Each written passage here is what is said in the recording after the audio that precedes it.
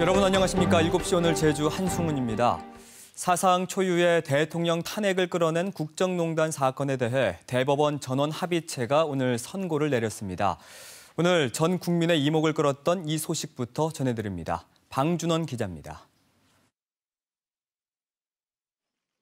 대법원 전원합의체는 오늘 국정농단 사건 상고심에서 박근혜 전 대통령과 비선실세 최순실 씨, 이재용 삼성전자 부회장의 재판을 모두 다시 심리하라고 결정했습니다.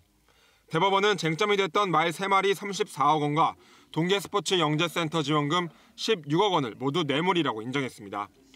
특히 영재센터 지원금에 대해선 삼성의 경영권 승계 현황과 관련된 부정한 청탁의 대가로 지급한 것이라고 판단했습니다. 이에 따라 이 부회장의 뇌물 공여 액수는 86억 원으로 늘어났습니다. 이 부회장의 항소심에선 말 3마리와 영재센터 지원 자금을 뇌물로 인정하지 않고 36억 원만 뇌물 공여액을 인정해 징역 2년 6개월에 집행유예 4년을 선고했습니다. 대법원 파기환송 취지로 다시 재판이 열리게 돼 이 부회장에게 실형이 선고될 가능성이 높다는 관측입니다.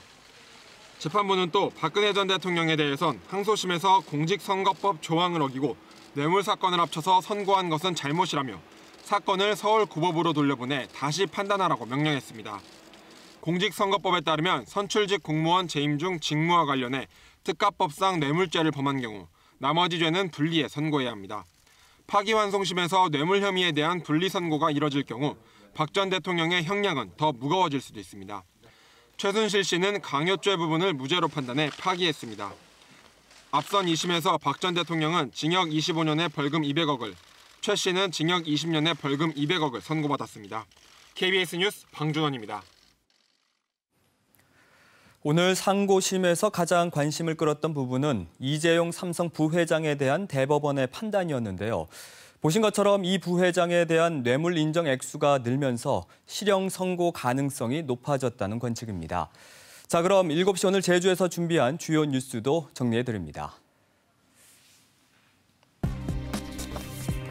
제주관광대학교 교수 채용 과정에서 자격이 되지 않는데도 교수로 임용한 사실이 드러나 논란입니다.